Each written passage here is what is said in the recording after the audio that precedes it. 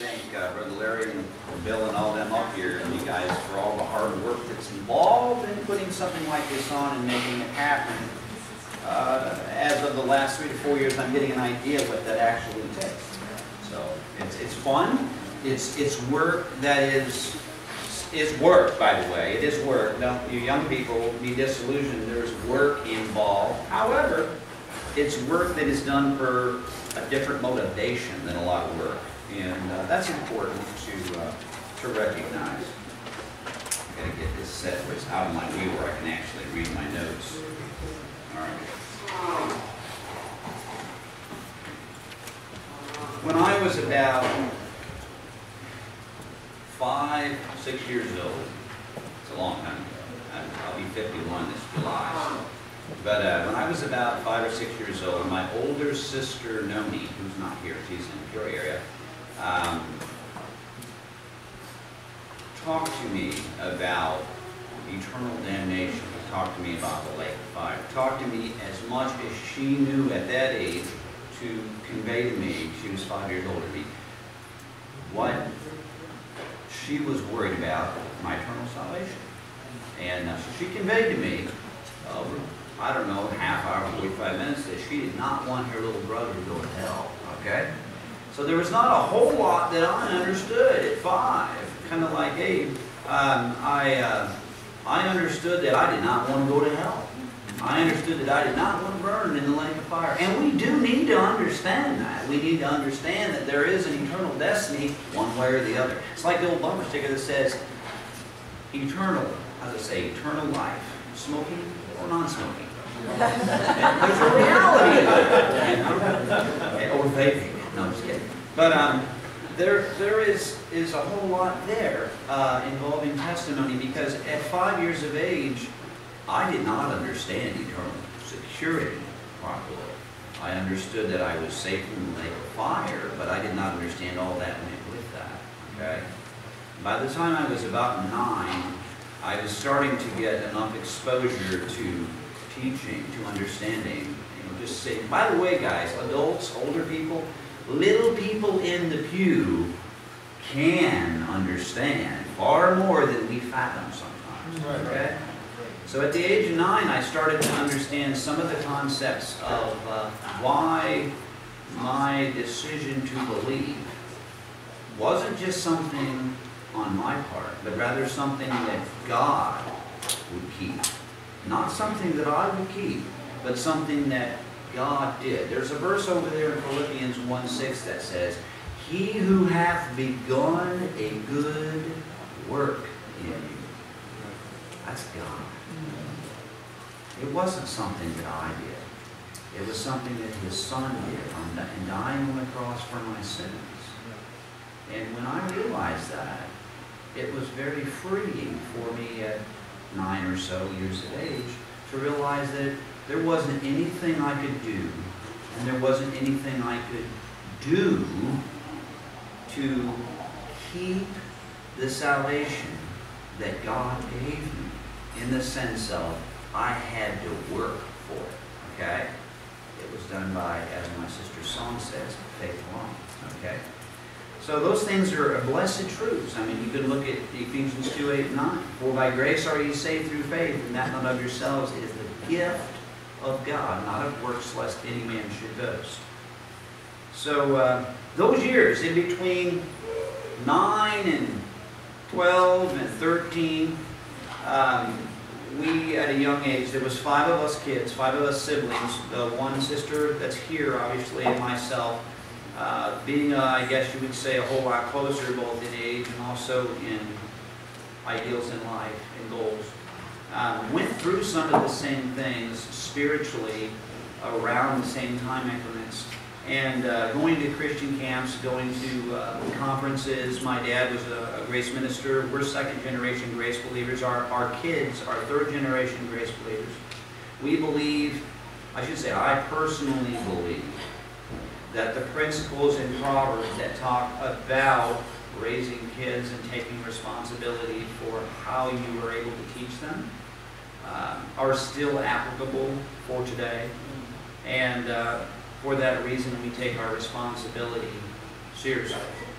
Okay? Not that we can dictate what they do, but that we have a responsibility to give them the truth they want. Okay? So anyway, in those teen years, we struggled through some things, we went through some things, and then, um, oh, about age 22 or so, I went through some struggles physically and I guess you would say emotionally and spiritually. A lot of times, notice how that happens.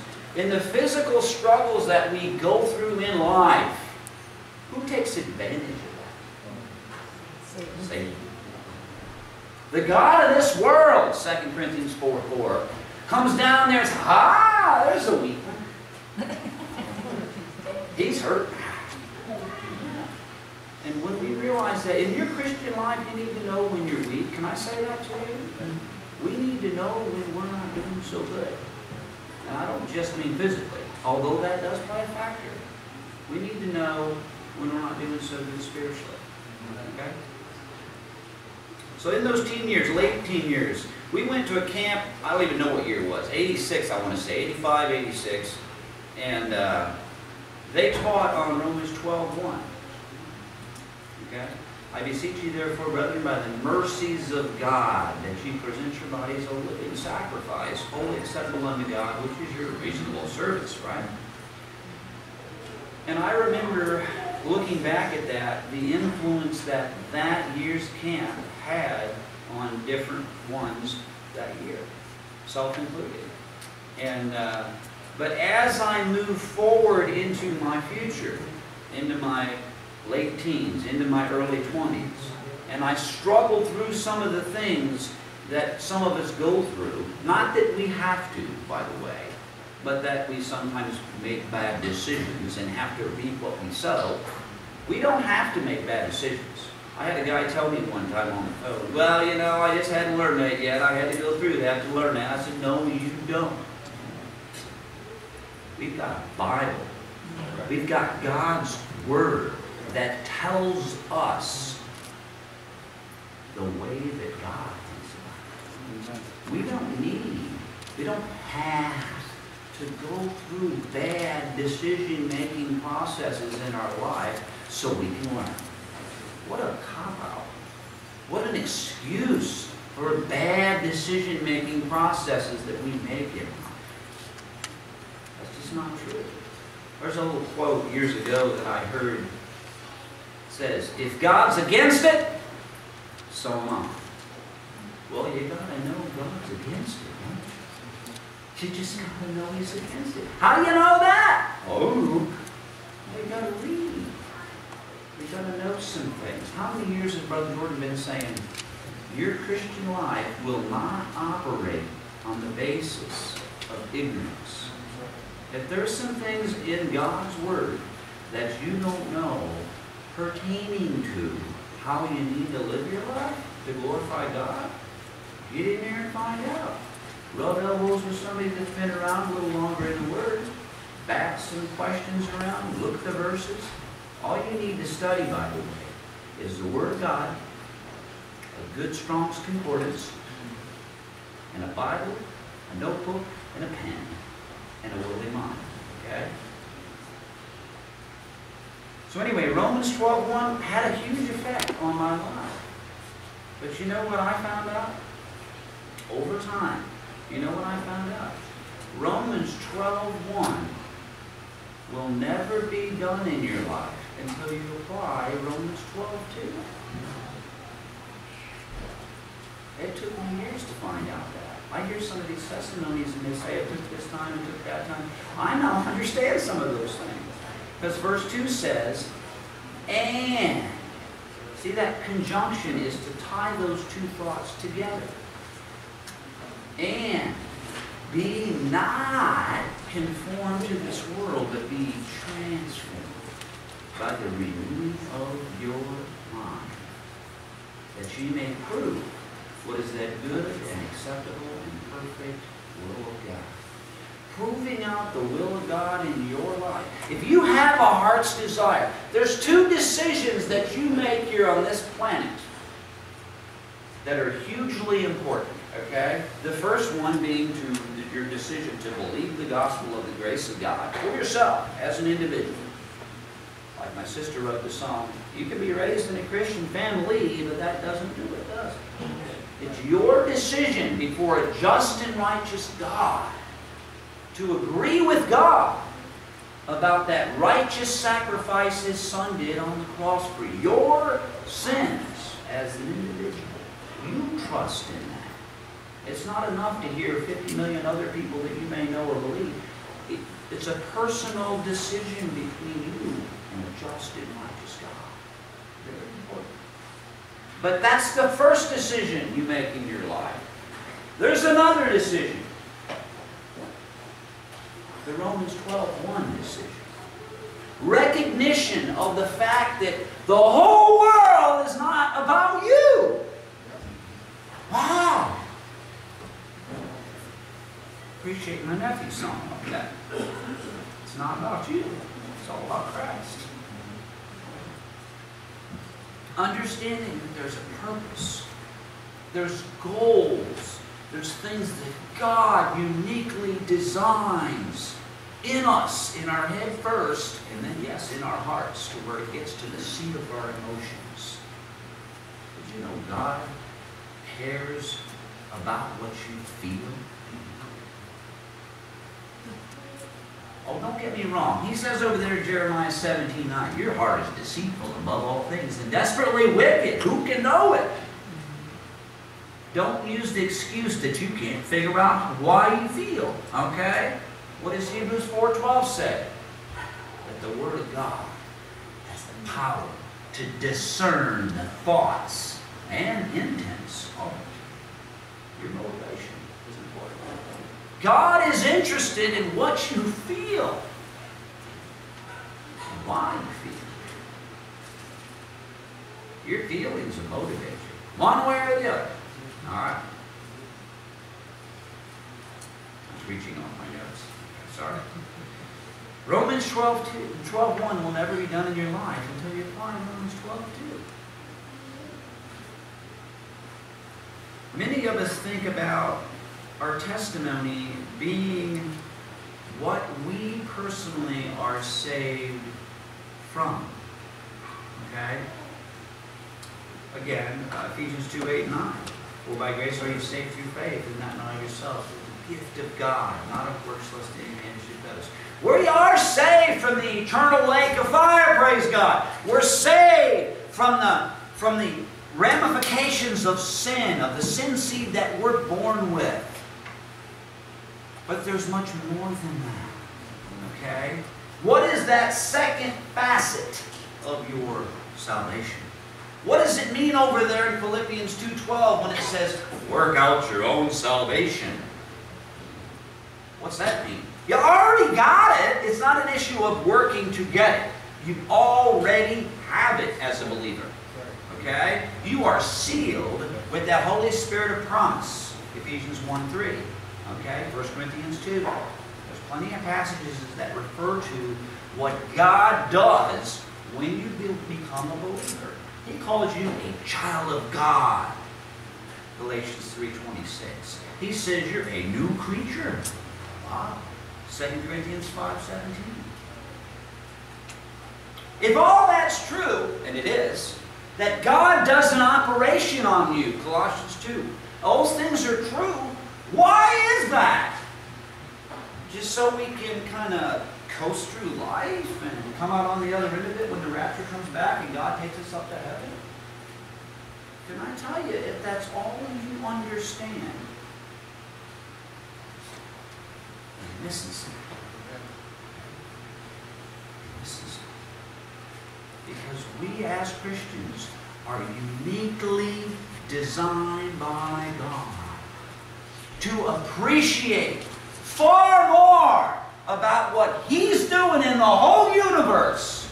Look at it. The creation of the world. God creates the world. Then He puts these little, He puts dirt and water together and makes mud and makes a man. Now, the woman was at least made from bread. But the interesting part about all that is He had a purpose. He had a plan. Before the creation of the world, He predetermined that he was going to make the body of Christ. That's us, guys. That's us.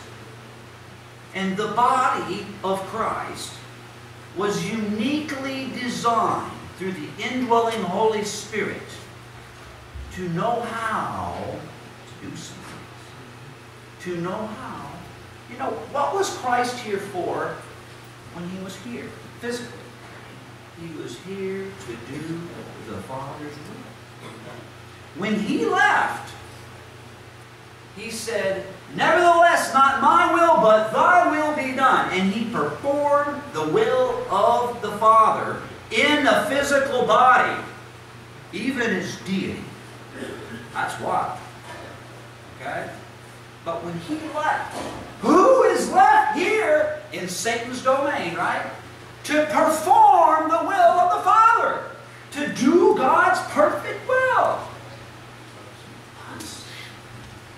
Us. then that's God's plan. With me to Romans chapter 8 real quick here. Romans chapter 8. Verse 28. Romans chapter 8, verse 28. And we know. See, it starts out right away. You got to know something, right? And we know that all things work together for good. Did you know for years I thought that good was mine? Oh, it's going to work out for my good. Wait a minute. All things work together for good to them that love God. How often do we talk about God loving us? And He does. But how often does Paul reiterate that mindset? How often does the Apostle Paul say, hey, the love of Christ constrains you? How often does he say in Philippians 1 9 11 that your love may abound? How's it going to do that? When does my love, what I personally want, desire, change from what I want to do to what God wants from me? When I read God about what God start learning, there's a learning curve there. That's not something that happens overnight. When you become a Christian, what you do after that point is you start understanding about the identity truths, about who you are in Christ, your position in Christ. And those are glorious truths. They're awesome. But when you start learning about that, when you learn what God says that you personally can do, not in the energy of your flesh, but what He can do in the body. Colossians 1.27, brother read it earlier. Christ in you, the hope glory. I don't think that glory is there is talking about when we get to heaven. That old southern, I'm from the south originally.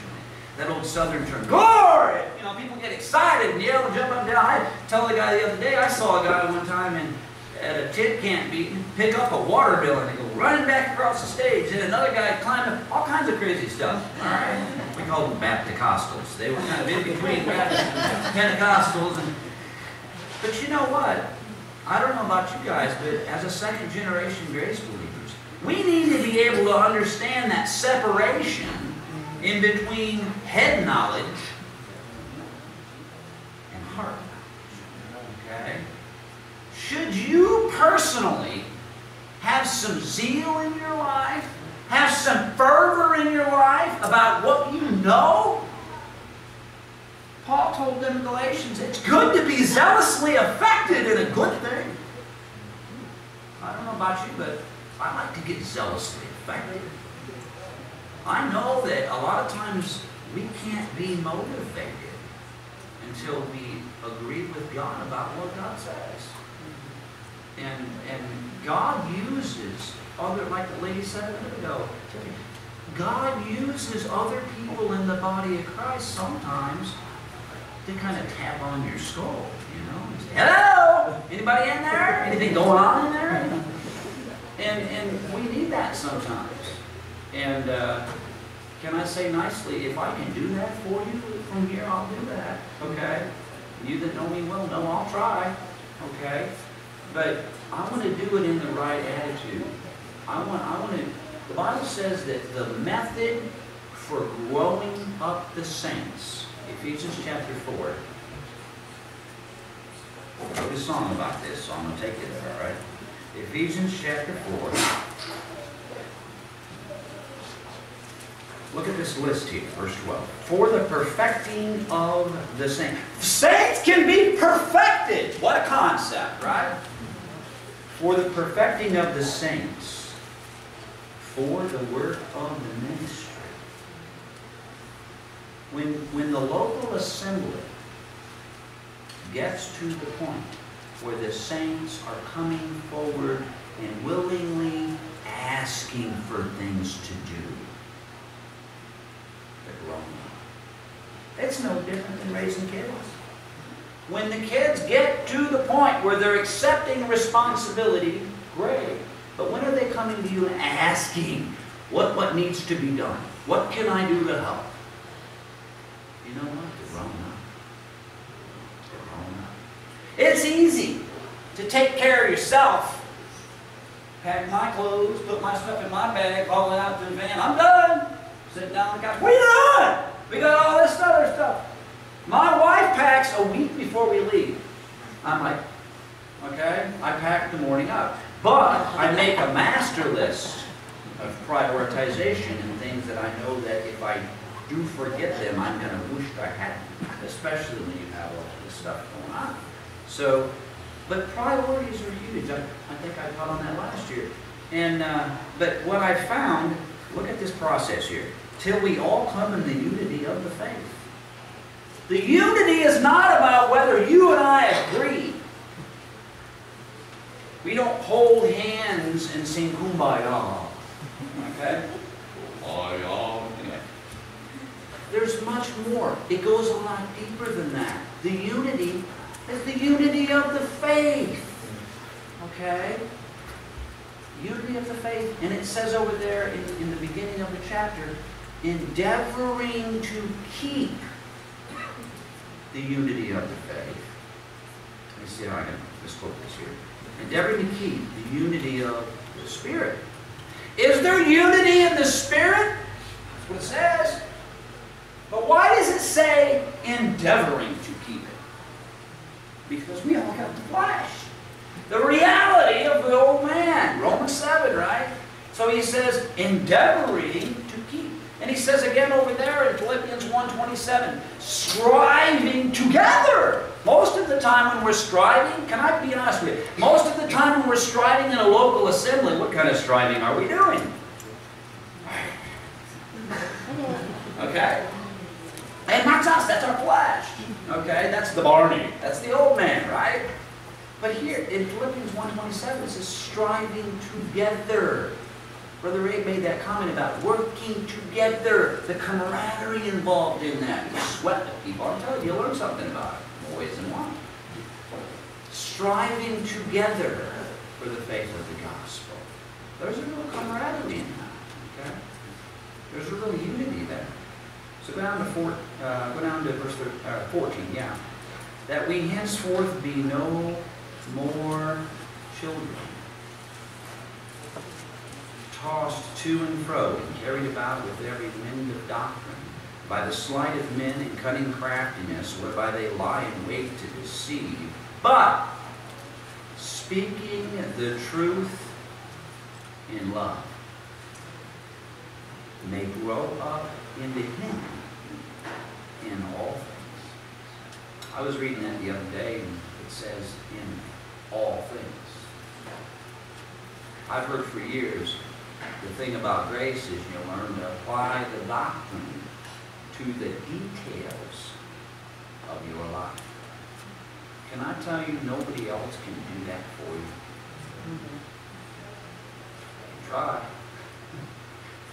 But the way that you own what you personally believe, your Bible says that God would that man be fully persuaded in his own mind. Why is that? Why can't I come up behind somebody else and follow along what they're doing all the time? God wants you as an individual to have a personal relationship with Christ, to grow up into Christ. That's why Paul told the Corinthians he didn't want to have dominion over their faith. But what did he say? He wanted to be helpers of their joy. I'm like, wow, that's, that's rough, that's hard. As a, can I tell you as a minister, these guys know, as a minister, that's hard. You don't always know how much to speak the truth and how much to speak the truth in love. Slow down. If you want to get the weed whipped out, just right? Weeds don't, they'll grow right back on you if you don't pull them out by the roots. It takes a whole lot longer and there's a whole lot more pulling to do if you want to do something right. Uh, sometimes physical analogies don't make very good illustrations. I don't believe I can pull anybody's weeds out of their heart, okay? That's their decision to okay? And I don't know what weeds you got in your life, that's between you and God. You know, I don't believe in teaching legalism. Those comparing themselves by themselves are what? Not wise, right? I just want to remind you of some scriptures that say certain things. But he says that the ingredients for growing up is speaking the truth in love may grow up into him, into Christ, in all things, which is the head, even Christ. But when you see things like that, you say, we're not just saved from the eternal of fire. But we're saved to something. We're not just saved from, but we're saved to. When you read Ephesians 2 8 9 about the gift, and you read Ephesians 2 8 9 about not being by works, right? Keep reading. Read Ephesians 2 10. What does that say? We are His workmanship. That means He did it. Okay? He's the one that radically changed us. Right? Calls us a new creature, a child of God. And he says, We are his workmanship, created in Christ Jesus unto good works. Works are an issue? Oh. Only after you personally changed radically by God. Okay? He does an operation on you, and He makes you a new creature. That's why He can turn around and say to you, Be not conformed to this world, but be transformed. Now go back to Romans 8, because I didn't finish over here. Romans chapter 8. That's what I get for preaching on Romans, I'm sorry. Romans chapter 8.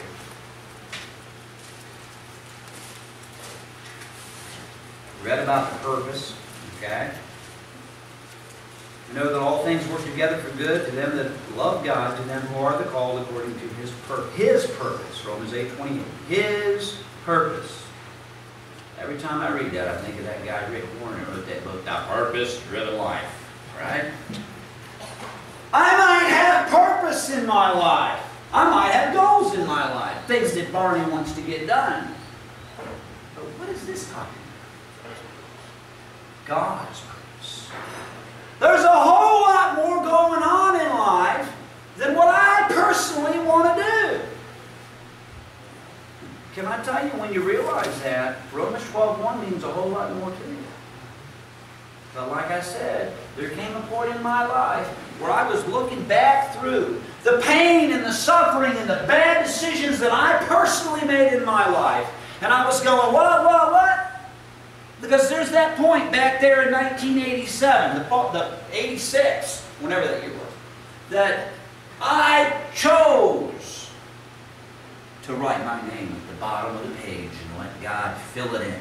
That's the phrase.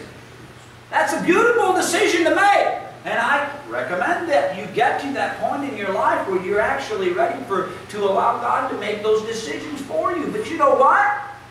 He won't come down and grab you by the nose, clip a leash on the end of your nose, and jerk you around in life. That's not how He leads you. So then, He says, be a living sacrifice. Then what does He say? Be not conformed to this world. Ah, that means I can't do what I want to do. It's not about me. No. Be not conformed to this world but be transformed. Transformed. I mean, changed radically. Yeah. Be not conformed will be transformed. How? By the renewing. Not a one-time thing, guys. No. Not a one-time thing. The renewing of your mind. Why? That ye may prove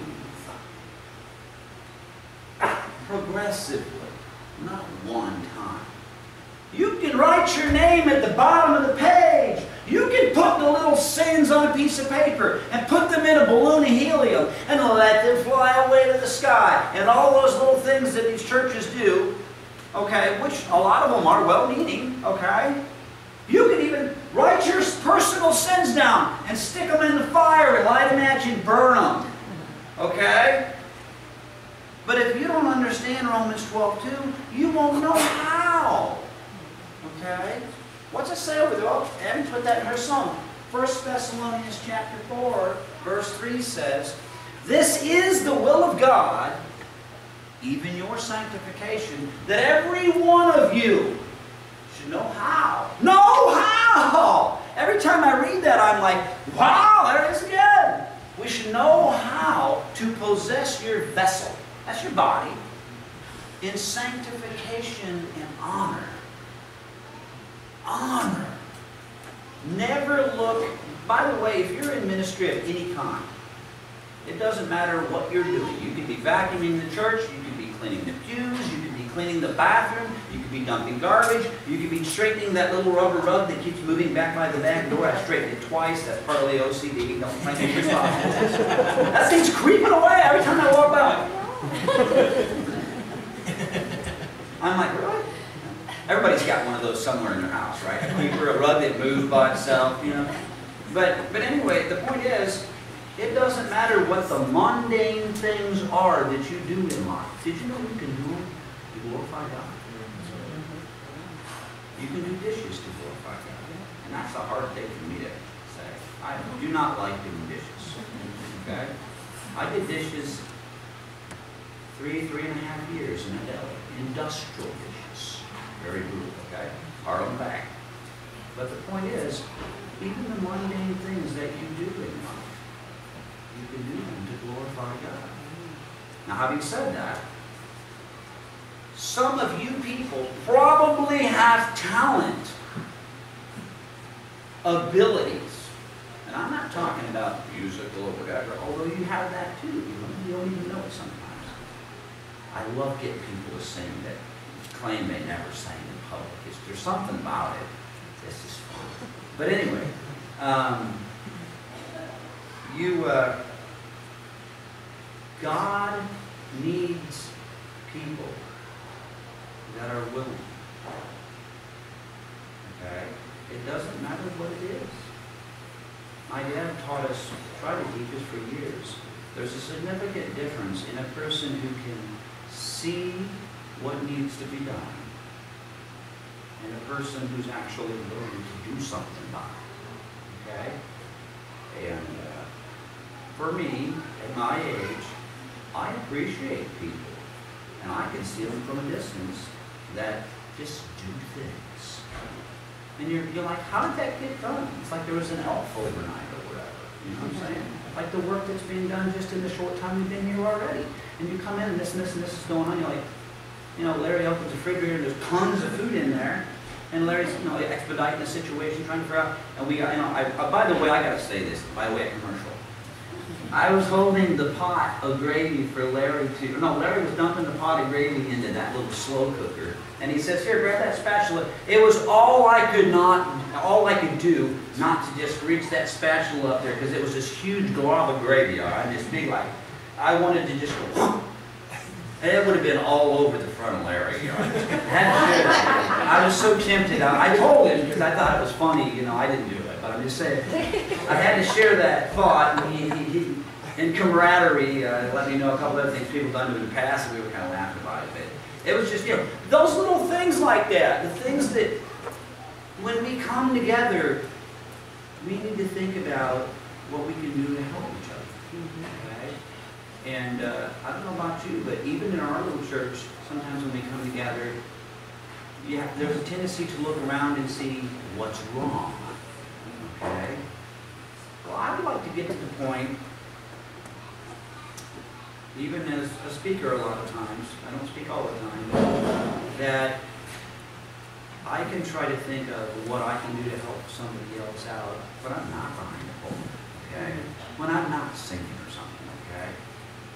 Can I hold a cup? Can I do this? Can I do that? The everyday mundane things. It's an attitude of service. And that's what God wants from us. And that's why he says, he calls it vessels of honor.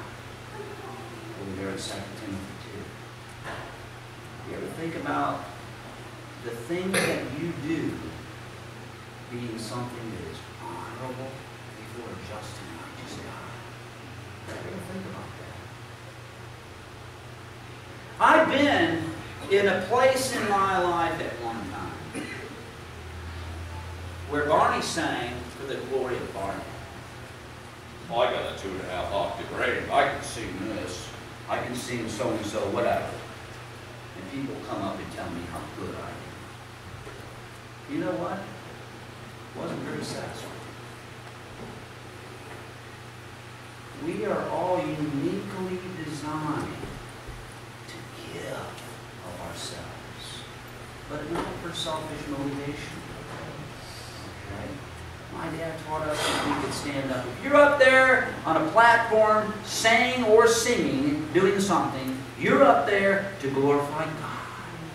Well, it's no different no matter where you're at.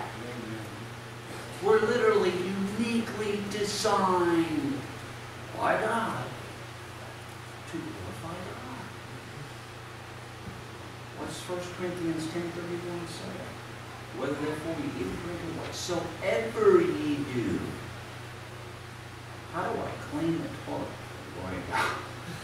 How do I plunge that toilet again for the glory of God? You do it with the right heart start to get flesh, you'll get a better plunger. but uh, you can, you can do things that God looks at as honorable, scraping the rocks to the edge. Whatever it is that you're doing in your life environment, putting up with the idiosyncrasies of unethical work practices at a large grocery chain, okay? Whatever it is you do, it can be a testimony, a living epistle of an honorable thing that God has given you to do. Is it easy? Yes and no. It's easy because it's easy to understand. But it's hard because Barney gets in the way. My flesh doesn't want to do it today. I woke up on the wrong side of the bed. I only have one side of the bed I can wake up on. It's small. Large bed in a small bedroom with a lot of stuff. Actually, some of it's out right now, but anyway. Um, I, I, I get out over the, into the bed, okay? My wife gets out on it, anyway. But, uh, it doesn't matter what side of the bed you wake up on. The goals are still the same. And we can't make excuses for ourselves when we don't fill up. Okay. I think I preached this page. Let me see what the second page says. Okay, I preached most of that already too. But I've been there. I, I've been in the bar scene, guys. I'm a second generation grace believer that knew better, that literally went out and sang for the glory in a bar scene with a bunch of unbelieving whatever, okay? Why? What a waste. What a waste.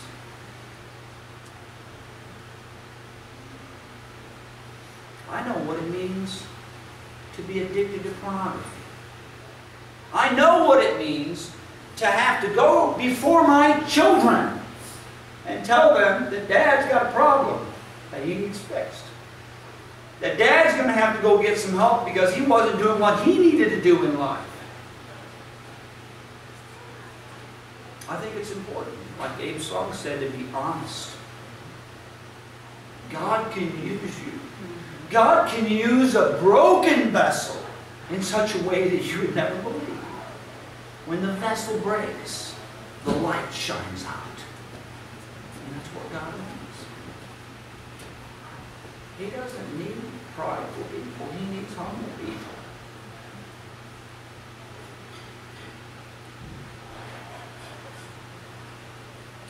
I started uh, pursuing better things.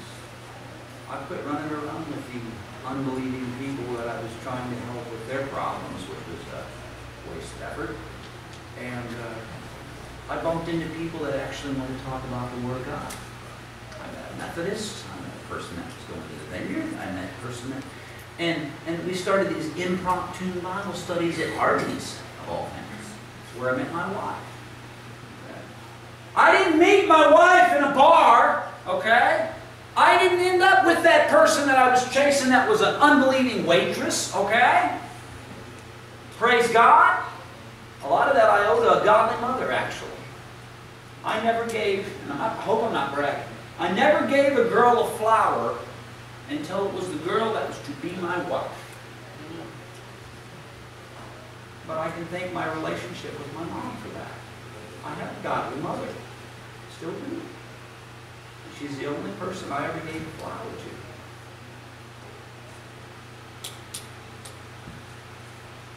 When you give somebody something, it should mean something. When you give somebody your feelings, when you convey yourself to somebody, it's important. Save it. Save it. Don't spend it wantonly. You can't recoup it. Don't get to the altar of marriage and say, well, I gave part of my heart to Christy, and I gave part of my heart to Julie, and I gave part of my heart to Brad, and I gave part of my heart, well, I've really only got about this much left, and it's pretty messed up. I don't really know how to love. Don't get married to somebody and a year later have her come home and say, you know what, I don't love you anymore. I've talked to people that's done that, guys. That's why Romans 12.1 will never be done in your life until you start applying Romans 12.2. And you look at that individual and you say, you know what? That individual is conforming themselves with the world. You make a decision. Boy, that's a hard decision to make. You draw, the guy in our, in our local assembly recently made that decision. He drew a line in the sand. He said, if God's against it, so am I. And he looked at that person that he cared about. And he said, I can no longer be around you. Praise God for people with some conviction in life that want to do what's right before a just and righteous God. Is that easy? No. It's not supposed to be really not. Life is not going to be easy. The most valuable things you ever do in life take time and your heart. That's just the way it is. There's an old song that says it's not an easy road. It's not. So instead of being lazy, Realize that. This is not an easy road. God does things for a reason. He gives us a vocation to be for. And he says that we're bought with a price order to glorify God in our lives. I knew that. I made that decision, but I didn't know the why. Romans 12, too. If any of you guys down there are interested in, in understanding the principles of Romans 12, 1 and 2, don't forget verse 2. If your heart's desire is to do something in ministry, to serve God, that's Romans 12, 1. But please do not forget Romans 12, 2. And you read in Colossians 3, the put off where he says, put off all these anger, wrath, malice, blasphemy, all these bad things. What does he do? He doesn't stop there. God doesn't intend on stripping you of everything your heart's desire wants to do and not give you something to do. Okay? He says, but put on charity. He says, let. He's not going to make you. He says, let the word of Christ dwell in you poorly. No, preacher! See if you're awake. Let the word of Christ dwell in you richly. That's a beautiful thing. And when it does that, can I tell you, it'll change you. Whether you want it to or not. It'll change you. When you the Word of God. And you. You start proving out the will of God in your life. You become an honorable vessel. Sanctified and meet for the Master's use. That's a beautiful thing. So I'm going to share with you the concept of something that, yes, I made the decision to believe the gospel of the grace of God for myself, five, and assurance at nine. Yes, I made the decision at, I don't know, 16, 18 years of age, 1986, to serve God in my life. I had full intentions of doing those things, and I started writing songs. That's when I wrote The Only Way to Happiness is Serving the Lord. I knew that. But I didn't understand the ramifications of application. I didn't understand life application principles of Romans 6, 7, and 8. So I found myself in that verse over there in Romans 7 that says, how to perform that which is good, I find out. Okay? So there's an issue of knowing. There's an issue of comprehending. And there's an issue of learning. So when we learn, the more we learn, did you know, I gotta say this, I say this a lot, your flesh, the old man, naturally prohibits growth in order to be less responsible to the truth. You know that? I found it to be true in my life. When I'm not doing well, I don't want to decide. When I'm not doing well, my flesh, my personal relationship with Christ suffers. Doesn't suffer because he's holding back. He suffers because I'm holding back. So we need to be aware of that about ourselves. And uh, just realize that the life that we live in the flesh, we're to live by the faith of the Son of God. He loved us and gave himself for us. So the life application principles, all those years later, played full circle in my own life. Got my heart cleaned out a little bit, got my head stomped on a little bit, sat at tables with 14, 15 men, poured my heart out to them. And I recommend that, actually, about the problems that I personally had that I was going through. Okay? I got honest with it. Okay? And a few years later, some things started happening. About eight years ago, my wife and I were to the point, to the point in our, uh, in our Bible studies that we had been teaching the Word of God on, uh, I think, Sunday for, I don't know, eight years or so. And it was just my wife, my kids and I, in- our, in our house. And then we would visit other, other believers during the week.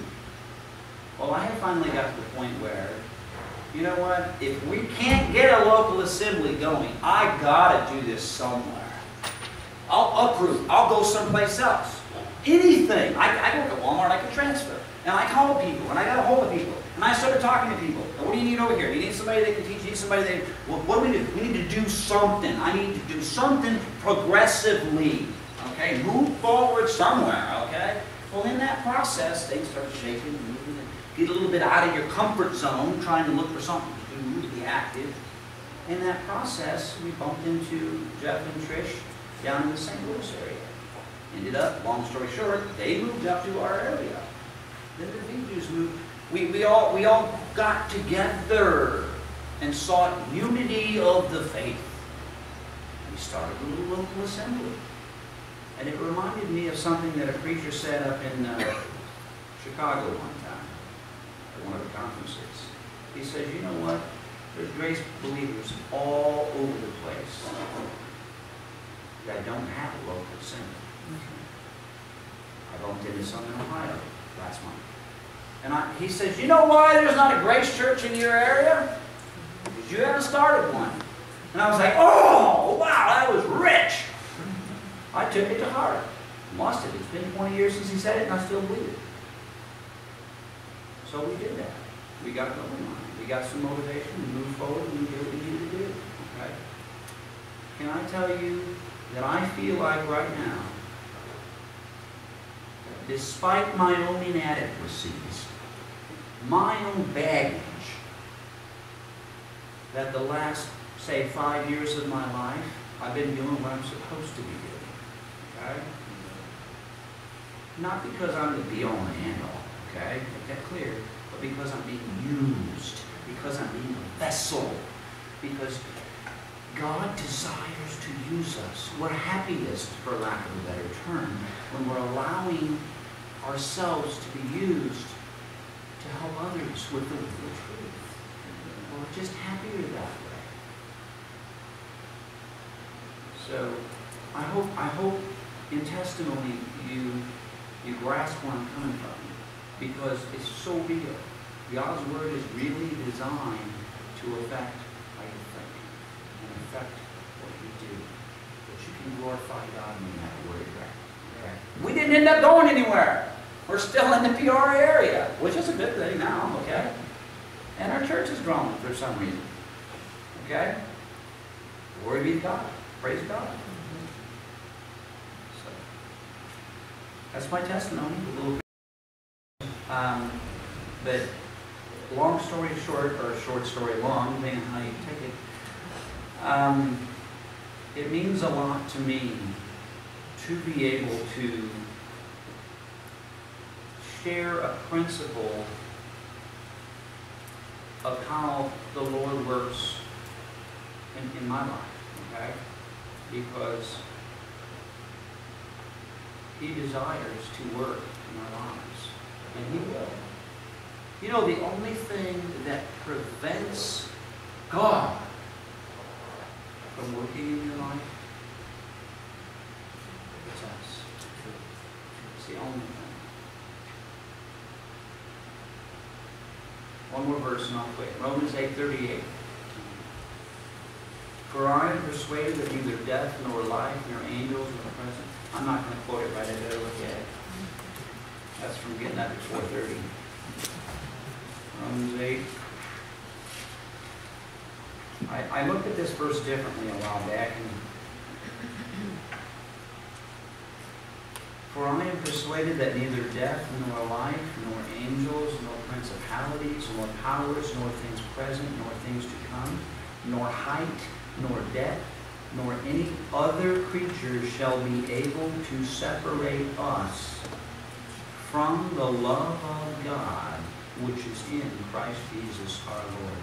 Isn't it a comforting thing to know that God is not going to withhold his love from you? It is. It's a very comforting thing.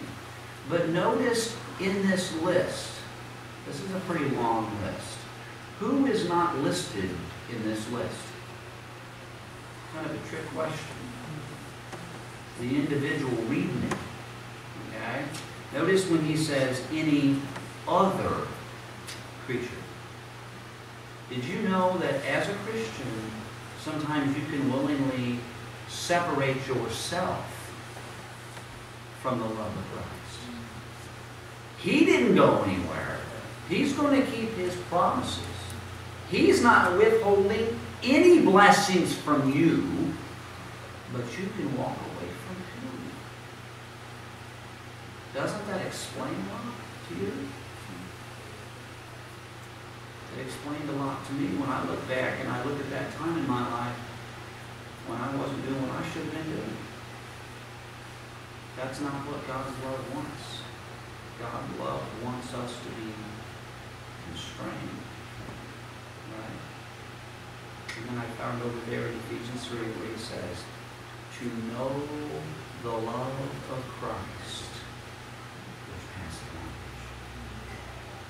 It's something that we're supposed to grow into, the love of Christ. That same love of Christ that is supposed to motivate us.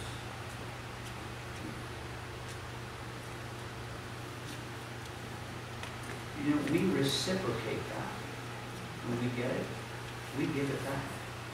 We share other people. And we learn what God through Christ has done for us, we can share that with other people. It's not something you sit on. Okay? And uh, the more we learn that, the more, how can I say, the more vulnerable you're willing to be. The only thing that keeps you from being honest or vulnerable towards other people is pride. Okay? The, the motivation behind somebody that would manipulate or lie to you is to protect themselves. Okay? That's not what God wants for us. It's hard to be vulnerable. It. Because it hurts. But God can use a broken. Dear Lord Jesus, thank you for all you've given us. Thank you for giving us your truths. Help us to desire to renew our minds in them, to learn more about you, and to learn to apply those things in our lives. We pray. Amen. All right, let's stand. It's almost time for lunch.